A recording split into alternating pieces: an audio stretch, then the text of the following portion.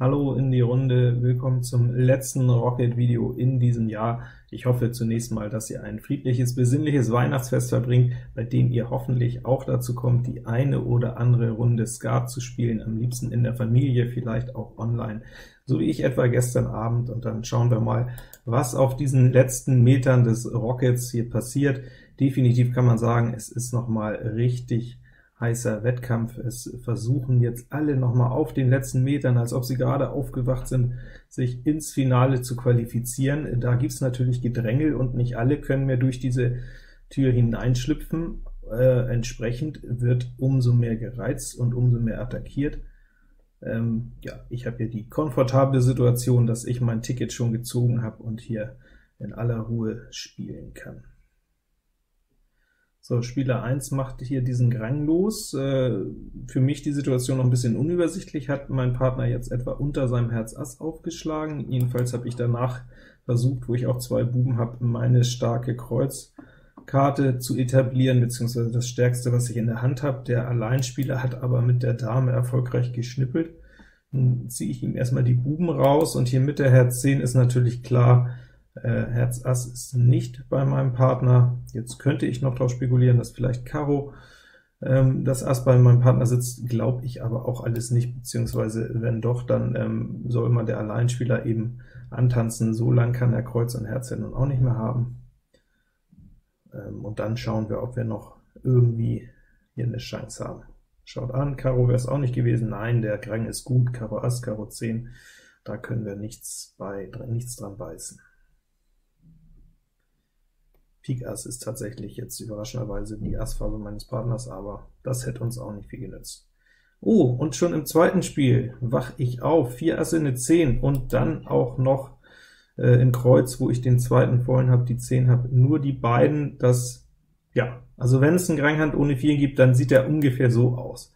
Und äh, weil doch Weihnachten ist und alles glücklich läuft, spiele ich das Ding jetzt auch aus der Hand. Bitte nicht unbedingt nachmachen in einer echten Turniersituation, dafür ist das Risiko einfach zu hoch. Und hier sehen wir auch warum. Wupp, wahrscheinlich liegt ein Kreuz, und schon schwimmt das Ding natürlich äh, wie nur irgendwas. 14 Augen, ja, danke. Danke fürs Mitmachen. Jetzt aber raufturnen und aha, 35, aha, 50, also was unke ich denn, war doch gar nichts los, war doch alles Paletti, und jetzt kommt am Ende doch noch das Unglück. Ich gewinne mit 63 Augen, denn ausgerechnet ein Bube und ausgerechnet der Pikbube liegt drin, der Billigmacher, den wollte ich bei diesem Spiel natürlich nicht unbedingt finden, aber erstmal freuen, dass das Ding überhaupt noch gewonnen wurde, nachdem die Kreuz 10 abhanden gekommen ist. Und das nennt sich wohl ein Anschlussspiel. Komm für 18 ran, finde noch das Karo Ass, wunderbar, habe ich schon wieder den nächsten Gang in der Hand. So, erst wollte ich ihn so drücken, 14, nach dem Motto Sicherheit, zuerst das Bild mit runter, aber dann habe ich mir gedacht, nein, äh, die Schneiderchance ist einfach zu groß und äh, die Verlustchance zu gering. Ich drücke das Ding hier lieber auf Schneider mit einer Karolusche noch in den Keller. Ähm, da, der Kreuz König sollte nicht unbedingt zum Problem werden. Und hier sehen wir auch, das war absolut richtig. Bube werde ich gleich eingespielt. Jetzt kann ich es mir erlauben, hier einen lockeren Unterzug zu spielen und Schneider frei ist Jetzt schon nur noch möglich, wenn Karo zu viert steht oder auf dem Kreuzrückschub ein Karo abgeworfen wird und dann Karo 10 und Herz Ass fallen. Jetzt kann ich hier noch mal einmal tauchen, um in Hinterhand zu bleiben und die Schneiderchance für mich noch ein wenig zu erhöhen. Wird aber eingespielt, und dann komme ich natürlich doch sofort mit meiner Karo Lusche äh, an Bord. Karo stand auch 2-2, also auch mit 14 Augen im Keller wäre der Schneider genauso geglückt. Ja, das nenne ich doch schon mal einen ganz guten Auftakt. Und hier wieder 5 volle. Es läuft, es läuft, es läuft, es macht Spaß. 20er Reizung jetzt, und da ist der Pik Bube im Stock. Der Pik Bube zusammen mit der Karo Lusche. Ja, ohne, wenn es jetzt der Herzbube oder so gewesen wäre, dann hätte ich jetzt wohl ein schönes Karo-Spiel getauft, ein bisschen defensiver oder sagen wir mal nicht ganz so teuer. Da wir jetzt aber ähm, bei 20 sind, geht der Grang wieder los. Karo 10 Pik Dame habe ich gedrückt, muss natürlich äh, ein bisschen glücklich laufen, also im Prinzip brauche ich schon den Doppelläufer in Kreuz. Das wäre nicht gut, wenn die Kreuz 10 mir abhanden kommt. Andererseits, wenn ich ihn anders drücke, komme ich auch nicht notwendigerweise ins Ziel. Das ist alles sehr spekulativ, wie das Spiel verlaufen wird. Karo Ass hoffe ich jetzt natürlich erstmal, dass das in Hinterhand sitzt, der gereizt hat, und dann nicht direkt auf den Tisch kommt. Dann, ja, versuchen wir es mit 13 im Keller. Äh, es kommt das Karo Ass, und es fällt die Dame, und das ist ja natürlich nicht so schön. Jetzt wird hier die erste kommt die erste Wimmlung, äh, das ist ungünstig, das ist jetzt hier der letzte Karo übrigens immerhin, also Stechen kommt natürlich gar nicht in Frage, dann kann Hinterhand auch noch vielleicht Kreuz abschmeißen, dann bin ich eher froh, dass er erstmal eine 10 gewimmelt hat und jetzt hier auch die zweite 10, damit bestehen ja immer noch die Chancen, dass meine Vollen alle laufen, die anderen Zehner hatte ich ja gar nicht mit eingeplant.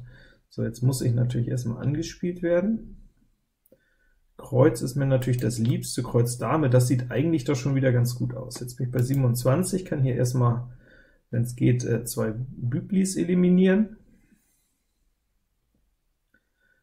Und jetzt sollte natürlich das, die Kreuz 10 noch laufen. 27, 42, ja, aber es sah doch alles danach aus.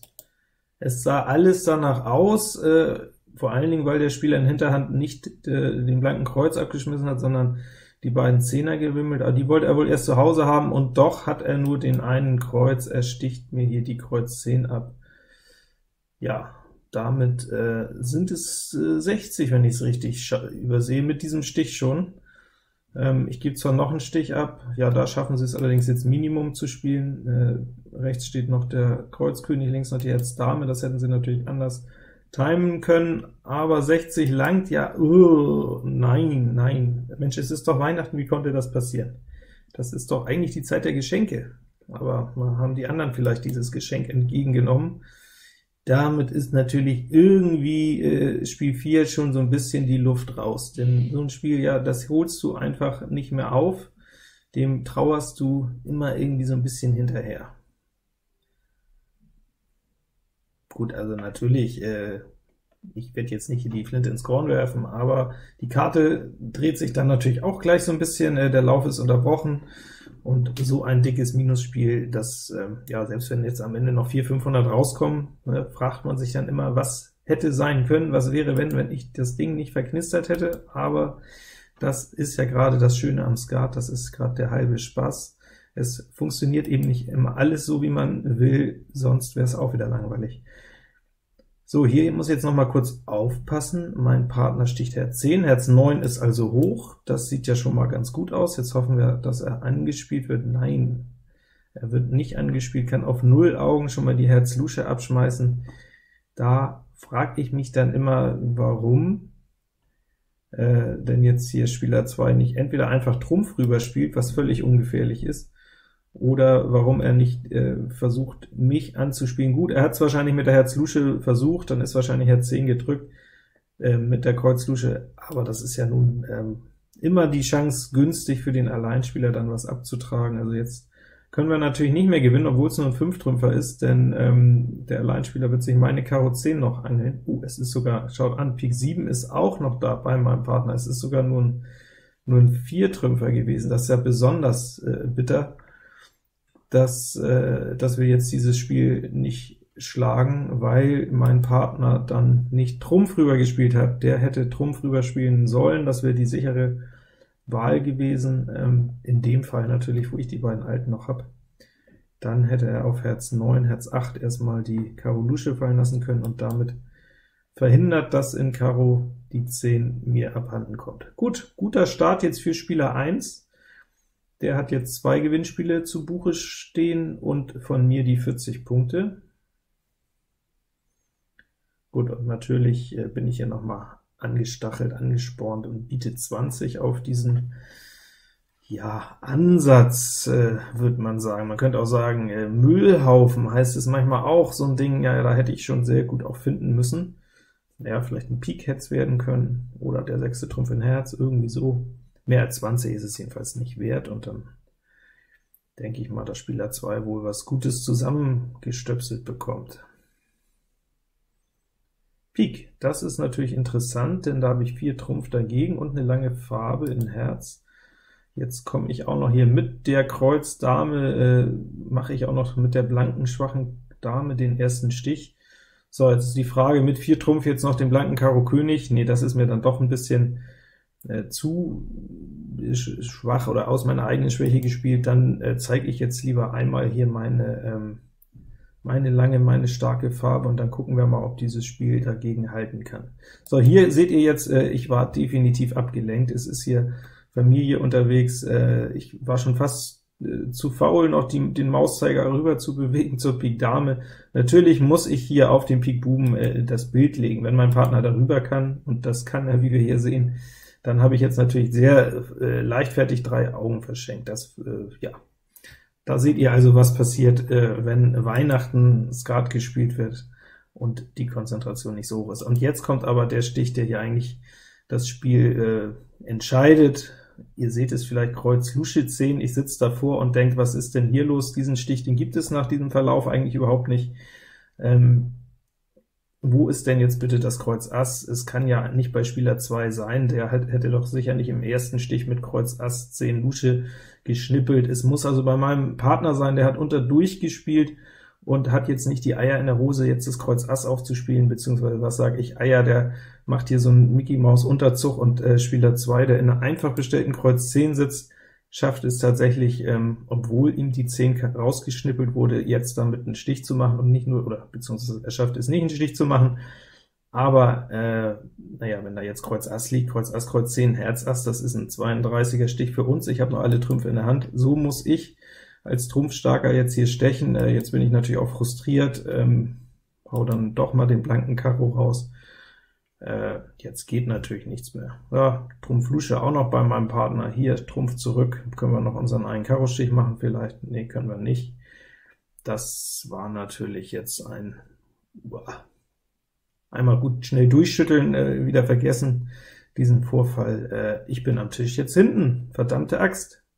Jetzt heißt es also wieder, ähm, alles vergessen, ausblenden äh, und den Fokus auf die nächsten sechs Spiele richten, nicht, dass man nach so einem ärgerlichen Vortrag hier sogar die Liste noch verliert. So, erstmal wieder wie damals gefunden, Kreuz Bube, der passt wie die Faust aufs Auge, damit kommt ein sehr solider 6 Trumpf Herz dabei raus.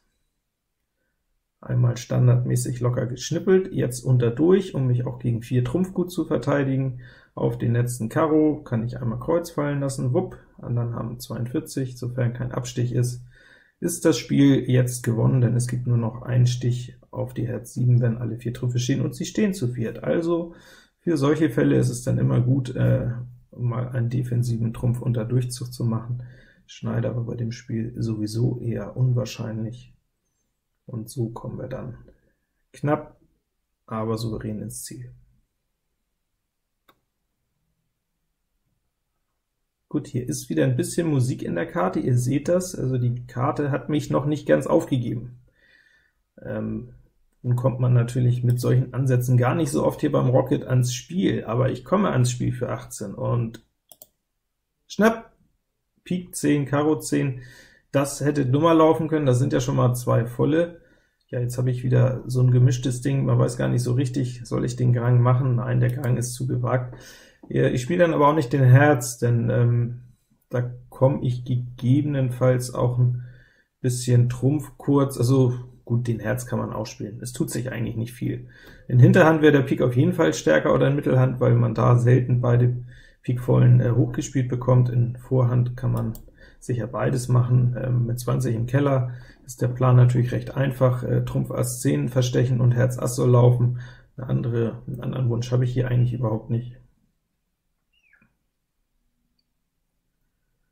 So, es wird ein bisschen darum gezupfelt, also was Volles angeboten wird nicht, aber wo ich 20 im Keller habe, ist das auch nicht weiter verwunderlich. Schnell den ersten vollen Heimstechen, 34, Herz Ass läuft, wunderbar, 48, jetzt, ähm, ja, entweder ich kriege die Trumpf 10 noch verstochen, oder ich kriege mit dem alten Ass festgehalten, da gibt es ganz verschiedene Varianten. Oh, guck, guckt an, da kommt es schon, es wird die Herz 10 festgehalten, um mir das Karo Ass vorzusetzen. Ja, ein bisschen gewagt vielleicht. Karo Ass hätte man natürlich auch wimmeln können, so bin ich allerdings in Mittelhand. Macht mir aber nichts, bei 48 kann ich das Karo Ass natürlich locker mit dem alten verhaften, auch wenn ich mir jetzt schon relativ sicher bin, dass es wohl nichts mehr gibt. Dann hat Spieler 2 mit seinem letzten Trumpf gestochen, und ja, er hatte Gründe, das Kreuz Ass hatte er auch noch, also an sich hat er das ähm, gar nicht schlecht gespielt. Jetzt habe ich hier interessanterweise, wie gesagt, ich stand auf 61, hat Spieler 1 vergessen, mir mit dem Karo Buben die Trumpf 10 abzuholen, deswegen konnte ich noch mal 14 Augen da oben drauflegen. Ähm, sieht ein bisschen komisch aus, wäre nicht nötig gewesen. Ähm, ich merke mir einfach hier an der Stelle gleich, okay, Spieler 1 äh, hat vielleicht doch nicht die hundertprozentige Übersicht, oder er ist genauso abgelenkt von Familie und Weihnachtspunsch, wie ich das war, und dann kommen solche kleinen Zähl- und Stockfehler natürlich schon mal vor.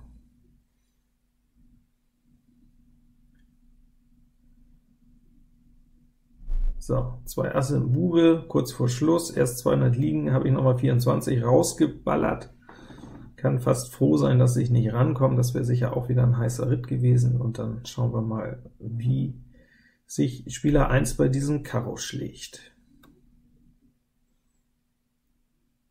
So, mein Partner hat mindestens natürlich noch den alten, vielleicht auch noch einen weiteren Trumpf, wo bisher nur so die Luschen fallen. Da also, äh, es ist nur ein Fünftrümpfer, Pik Jung noch bei meinem Partner, Kreuz Ass 10 Lusche beim Alleinspieler, zwei unbekannte Karten noch, das eine ist Pik Lusche, und jetzt ist natürlich die Frage, was ist die andere unbekannte Karte? Ist es Pik Ass? Nein, dann hat er jetzt entweder noch ein Pik dabei oder ein Herz, aber ich denke mal, es wird der Herz sein, ja, er hat ein eingedrückt, hat er wahrscheinlich 20 gedrückt, Herz 10, Pik 10, das nützt ihm jetzt nichts, Herz Ass geht noch auf Pik Buben und da äh, Kreuz Buben, Entschuldigung, auf den hohen Buben von meinem Partner, und damit ist das Spiel natürlich hinüber. Das hätte schon einen etwas gleichmäßigen Trumpf oder Kreuzstand gebraucht, um gewonnen zu werden.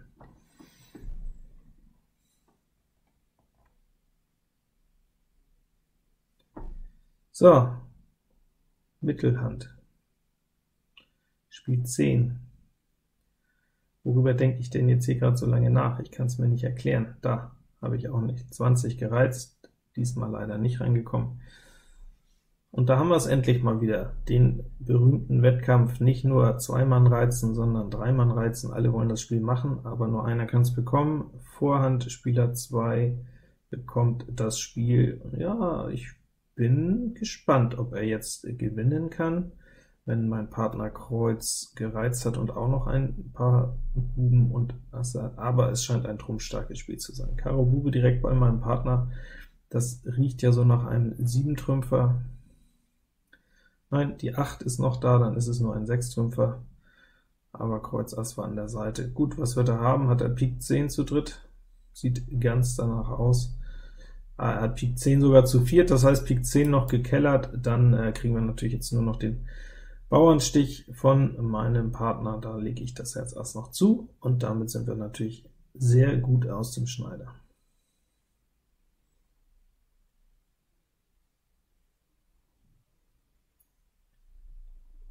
Ja, mit meinen 4-1 290 bin ich sogar vorne. Also wir können wieder das Was wäre wenn Spiel spielen, wenn ich den Gang nicht verloren hätte dann hätte ich wahrscheinlich dieses Blatt jetzt auch noch ein bisschen höher gereizt, aber so, wo hier nicht ganz so viel Musik mehr drin ist, muss ich jetzt auch kein ganz überzogenes Spiel mehr machen. Es wollen wieder beide übrigens spielen, und erneut hat Spieler 2 die Nase vorn. Gar nicht so gut für mich, denn der ist ja knapp hinter mir. Müssen wir mal sehen, ob ich ihn jetzt ausgebremst bekomme.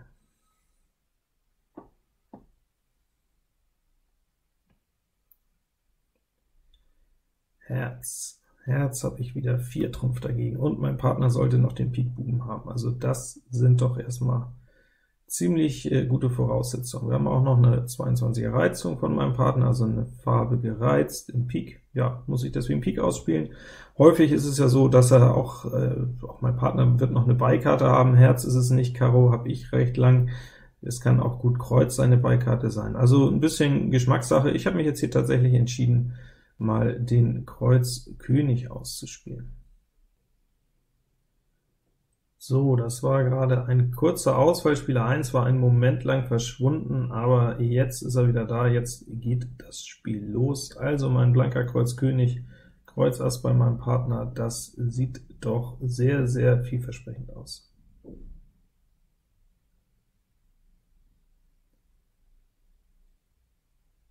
So, Kreuz 10 zwar freigespielt, aber auch schon reichlich Punkte.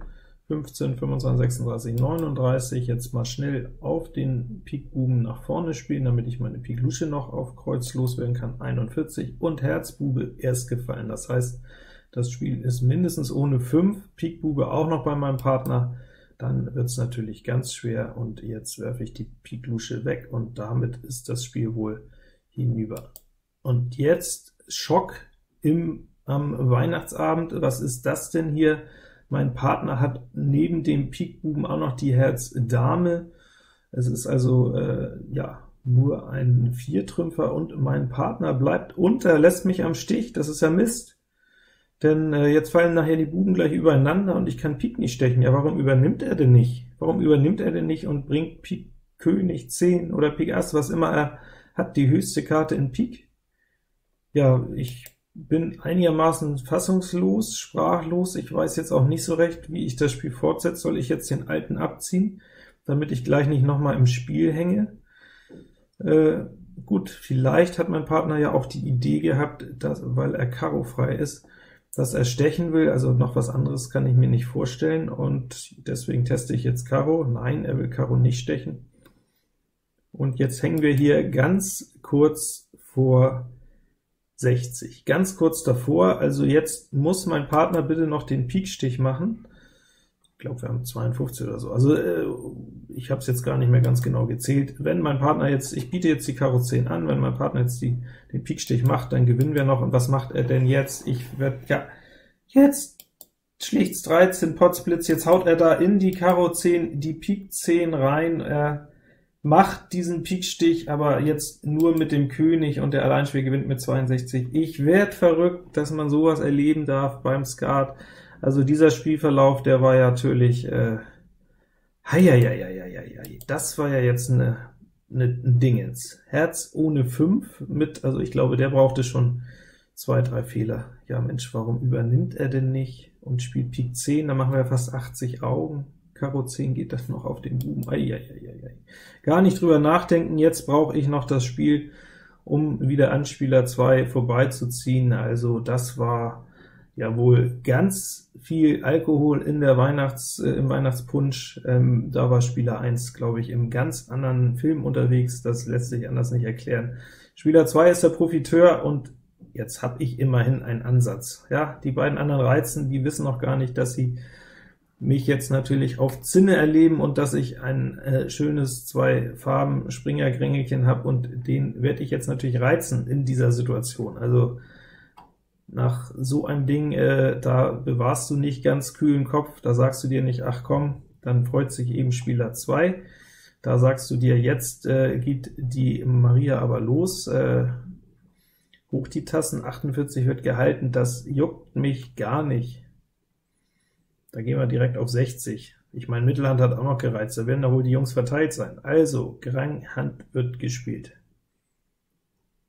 Ist schließlich auch ein kleiner Preisgard, also wenn ich den gewinne, dann, ja, guckt euch diesen Stich an, ein Traumstich, ein Traumstich. Pik 7 wird vorgestochen, ähm, da liegt wahrscheinlich Pik Ass oder sowas drin, trotzdem Pik 7 sieht natürlich sehr defensiv aus. 2, 12, auf 12 Augen bin ich meine beiden Luschen losgeworden, und der Bube ist weg. Damit wird dieser Ganghand nicht nur gewonnen, nein, er wird sogar Schneider gewonnen, selbst wenn es den Karo-Stich noch geben sollte. Halleluja, zumindest ein kleiner Achtungserfolg. Im letzten Rocket des Jahres habe ich es äh, erneut geschafft, meinen äh, ja, Kasten sauber zu halten. 436 am Ende, das hat auch noch für ein kleines Weihnachtstaschengeld gereicht. So viel aus dem Rocket Studio. Ich hoffe, ihr seid nächstes Jahr wieder dabei, vielleicht nicht nur als Zuschauer, sondern sogar als Spieler. Und bis dahin wünsche ich euch wie immer gut Blatt.